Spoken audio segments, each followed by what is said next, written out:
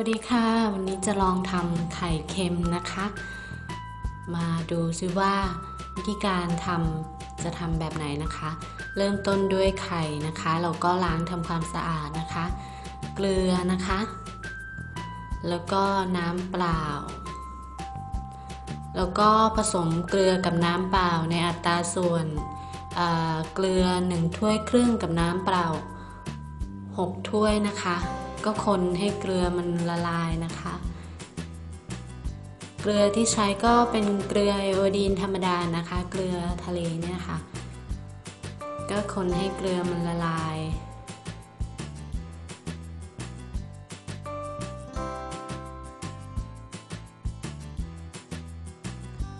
แล้วก็ตั้งไฟให้เดือดนะคะ ก็สังเกตว่าเกลือมันก็จะมีเป็น ตะกอนบ้างนะคะ เพราะว่าเราใช้เป็นเกลือไอโอดีนธรรมดาเกลือทะเลเลยนะคะ ก็สัดส่วนที่ทำนี่ก็ต่อไข่15 ฟองนะคะ ไข่เราลูกน้อยๆค่ะ เป็นไข่เป็ดนะคะ ไม่ได้ลูกใหญ่ เราก็ต้มให้น้ำมันเดือดนะคะ แล้วก็ปิดไฟให้น้ำมันเย็นนะคะ จริงๆบางคนเขาจะใช้ไข่ 10 ฟองนะคะ แต่ว่า ไข่ของเราลูกน้อยเดียวเองค่ะ ก็เลยลองใช้ 15 ฟอง ก็ล้างทำความสะอาดนะคะ ไข่เป็ดสดๆเลยค่ะ แล้วก็หากระปุกนะคะ หรือว่าโหลขวดโหลก็ได้นะคะ ที่มีฝาปิด เริ่มต้นก็เรียงไข่เป็ดลงไปในขวดโหลของเรานะคะ ในกระปุกของเรานะคะ ก็วางลงไปให้มันเต็มนะคะ ก็พอดีว่าซื้อไข่เป็ดจากพี่ที่ข้างบ้านมาเยอะนะคะ แต่ว่าไข่เป็ดมันไม่ได้ลูกใหญ่เท่าไหร่ ก็เลยคิดว่าลองทำไข่เค็มดูบ้างนนะคะ ก็เป็นวิธีการถนอมอาหารอีกแบบหนึ่งนะคะ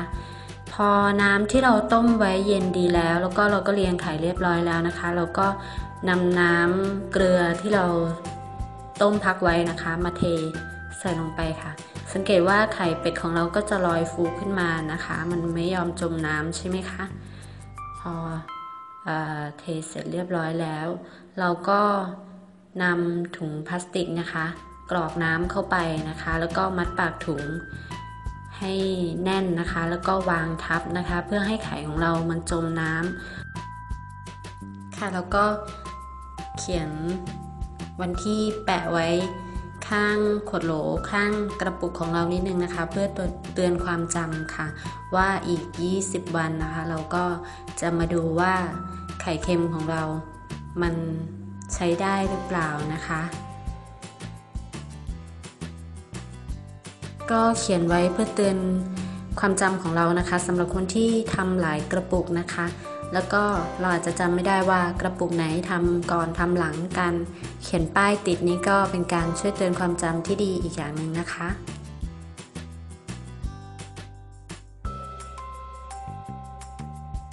เราก็ปิดฝากระปุกแล้วก็ติดวันที่ทำลงไปนะคะ เพราะว่าอีก 20 วันเราก็จะมาดูกันว่า ไข่เค็มของเรา มันใช้ได้มันสวยหรือเปล่า ก็เสร็จเรียบร้อยแล้วนะคะสำหรับไข่เค็มวันนี้